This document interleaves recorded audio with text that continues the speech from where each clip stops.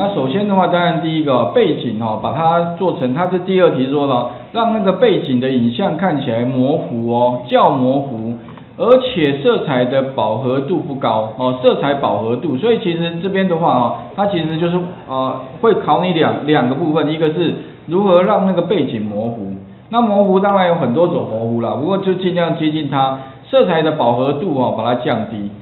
那怎么样把这两件事情做完哦？首先第一个，我们先切到背景图层，背景的话是这一个，所以记得要先点到背景，然后这个会挡到的话，你可以把眼睛这两个图层先把它关闭，它就会只看到背景。那因为这一张背景图啊，哎，第一个看起来哦比较明亮，它有点像是夏，有点像什么夏天的一个午后的太阳阳光蛮大的。可是如果我今天希望能够看起来有点像比较像秋天或冬天呐，然后灰灰暗暗那种视觉的感觉，所以我可能会需要第一个哈，哎把它色彩的饱和度要降低，然后呢，如果要凸显那个主要的那个呃水管或者将来你的图要放上去的话哦，那你基本上呢呃就尽量把你的那个背景把它做模糊的效果哦去掉哦，那 OK。那接下来的话怎么做？我们来看一下。首先第一个，把它怎么做模糊啊？模糊部分的话，你可以用滤镜里面，特别重要，滤镜里面有一个模糊的效果。那实际上哦，这些都可以，滤镜里面的模糊。那至于哪一种模糊是比较 OK 哦？一般很常用的就是所谓的高斯模糊。所以如果你今天希望哦，能够把那个背景给去弄弄得有点模糊哈的效果的话，其实你可以用高斯模糊。这个高斯模糊呢，做出来效果有点像是你现在用那个单眼相机哈。如果你单眼相机，假如说你有用过单眼相机，如果你用那个长镜头来拍摄一个人物的话，它会把景深哈变得很浅。所谓的景深就是说人的部分很清楚，背景的部分呢变得很模糊。OK 哈，所以这边注意哦。如果当然你如果你没有用单眼相机来拍的话，可不可以做出那样的效果？其实也可以哦。好，我们可以怎么一用滤镜里面的模糊，用高斯模糊。那至于模糊多少哦，大概的数字啊，大概强度大概调六左右。啊，至于能不能跟那个背景完全接近，按确定看看啊。其实你也可以自己来调一下。我只是大概 OK。那现在的模糊程度大概跟它差不多，可是色彩的饱和度这一张是蛮高的。所以如果要降低色彩饱和度跟这一张一样的话，第二个还要做什么？影像里面哈。你可以看到有个调整，调整里面有一个叫做色彩饱和度，有没有？哎，色相饱和度啊，你可以从这边再做调整。所以模糊用高斯模糊，大概调到六左右。那色彩饱和度的话，其实你也可以把它降低，因为它现在色彩饱和度很高嘛，所以我要让它有那个冬天呐灰灰暗暗的效果，你可以色彩饱和度，那怎么把它降低啊？特别注意哦，有没有看到这个饱和度？对，你可以把饱和度降低。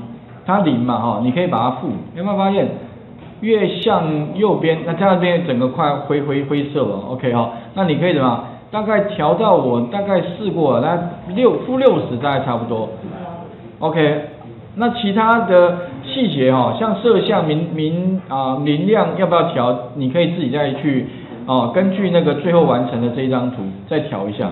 好像已经很接近了，但是好像又有一点点不太一样，不过大概差不多就可以了哈。尽量调到越像越好，OK 哈。所以这两个地方哦，就是滤镜里面的那个模糊、高斯模糊，还有一个就是影像里面的调整啊，摄像饱和度哦，OK。那另外顺便提一下啊，就像我刚刚提到的那那个呃，就是图的部分哈。比如像这一张图啊，实际上我是从哪边来的？我其实是从那个，就是我自己的部落格。OK，我部落格之前有整理，我因为之前有放了一张照片，我看发哪一个这边，哦，就去那个日本东北那个做新干线去秋田的时候，这个秋田新干线哦，然后拍了一张照片，啊，当然我就把它另存新档。如果说我今天哈。啊，要把这张照片怎么样放到这里面来，然后另存新档哦，然后把这张照片，OK 好，然后把它丢进来，我把它拖拉到这边。啊，不过你会发现哦，如果我希望怎么样做出刚刚讲的，哎，把自己变得很清楚，比较清楚，把背景呢变得比较模糊的话，有点像那个单眼相机拍的话，其实哦，你可以用一个方法哦，就我刚刚讲的，一，你可以先把自己选取起来。啊，选的话，不过我大概选一下，因为时间的关系，我没办法选的很细，我大概就把自己绕一圈，边边绕一圈就可以了。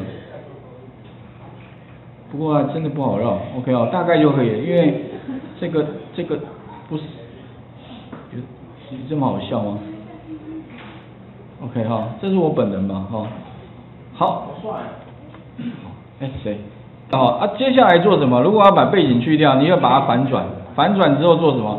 不过反转之之后哦，特别注意哦，如果你现在直接哈把它加滤镜模糊，模糊的话用高斯模糊，有没有？你会发现，如果我今天呢，本来的这个新干线是长这样，如果把它变模糊之后，你会发现就背景就去掉了，然后再来就把它什么取消选取，哎就 OK 了。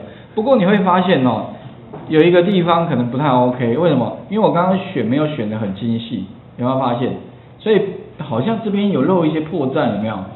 那怎么做哦会比较 OK 哦？我建议各位哦，如果你没有那么多时间选的话，还有一招蛮好用的，就按右键哦，你会发现这边有羽化。所谓的羽化就是说哦，让那个选取区域哈不要那么清楚。也就是说羽化，我大概调大概给它三十个像素吧，让这个边缘变得很柔和。然后你再去加滤镜的话，哎，这个就比较嗯不会那么看起来那么那么明显的破绽了。OK，按右键把它取消一下，有没有？OK，不过还是有了哦，可以再调大一点点。你不仔细看的话，基本上已经相对的 OK。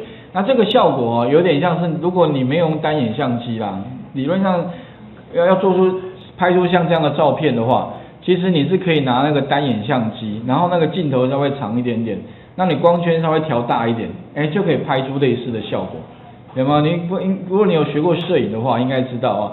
那这样的话呢，就景深比较浅。不过一般我们手机啦，要拍出这样的效果，好像新现在有蛮多那个新的相机可以。不过它标榜就是说，你不用单眼相机也可以具备有景深功能。可能可是问题是，可能要比较高阶一点的相机才有办法。要不然你就透过后置吧，哈。像这种东西，其实 Photoshop 来说，并不是太困难的事情。OK 哈。啊，其他的话呢，哈。呃，请各位先试一下，把刚刚的背景去掉。那待会的话，我们再来看一下后面的题目哈。后面的话还要做什么呢？挖的图层，让它呈现有什么水流出来那个效果。OK，来画面先还给各位哈，试一下。